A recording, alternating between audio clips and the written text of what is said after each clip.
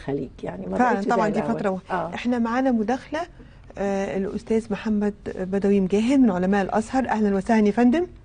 أهلا أهلا أهلا بيك يا فندم. أهلا بحضرتك. أهلا وسهلا. أهلا يا سيدنا الشيخ اتفضل.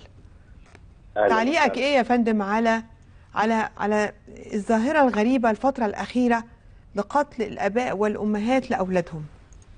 آه بسم الله والحمد لله والصلاة والسلام على رسول الله صلى الله عليه وسلم. آه في الحقيقة يعني إحنا ما نقدرش نسمي دي بعد إذن حضرتك طبعا هي. مش ظاهرة. لا لا طبعا هي مش ظاهرة. لكن هي هي يعني آه أمور فعلا آه أصبحت بترى للأسف.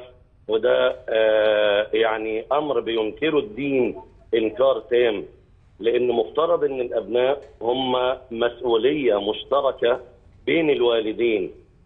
حتى أن الله تبارك وتعالى بين في محكم كتابه هذه المسؤولية وأن الآباء مسؤولون مسؤولية كاملة وتامة عن مراعاة الأبناء والبنات. قال الله تبارك وتعالى: يا أيها الذين آمنوا قوا أنفسكم وأهليكم نارا وقودها الناس والحجارة.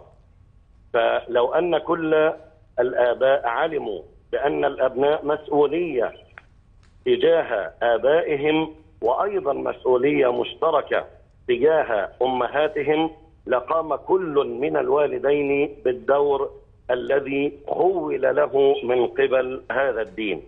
يقول النبي صلى الله عليه وسلم كلكم راع وكلكم مسؤول عن رعيته.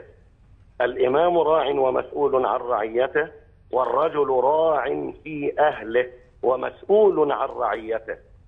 والمرأة راعية في بيت زوجها ومسؤولة عن رعيتها. وكلكم راع وكلكم مسؤول عن رعيته. لما نيجي يا دكتورة نشوف إزاي الدين بتاعنا جعل آه، سعي الآباء والأمهات أيوة. آه، في صحيفة حسنات الزوج وأيضا في صحيفة حسنات الزوجة.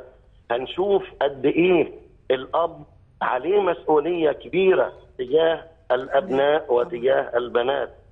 النبي عليه الصلاة والسلام كان يجلس مع بعض أصحابه يا فندم. فرأوا رجلا شابا نشيطا يسعى. فقالوا لو كان هذا في سبيل الله يعني لو كان سعي هذا الرجل ونشاطه وقوته في سبيل الله لكان ذلك خيرا.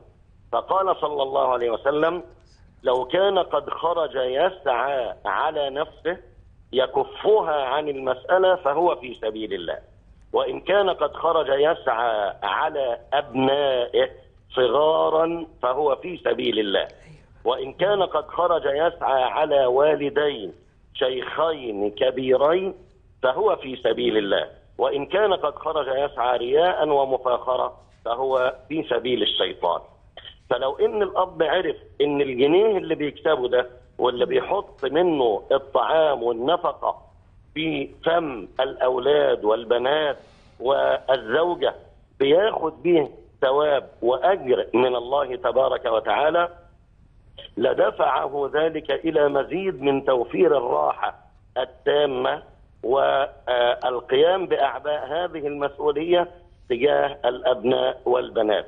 حتى إن ال- الأب لو فهم ما عليه من هذه المسؤوليات لا آه، أقام نفسه أشكرك يا سيدنا آه، الشيخ. أشكرك يا فندم. أشكرك على علمك. زي ما حضرتك قلتي إحنا آه. محتاجين توعية دينية أكتر لأن ديننا بيرفض كل هذا.